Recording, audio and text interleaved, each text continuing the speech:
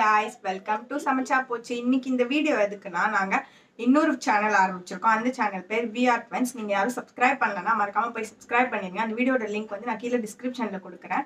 மறக்காம சப்ஸ்கிரைப் பண்ணிட்டு இன்னைக்கு ஈவினிங்கும் ஒரு சூப்பரான வீடியோ வருது. அதை ஃபுல்லாக பார்த்துருங்க ஓகேவா தேங்க்யூ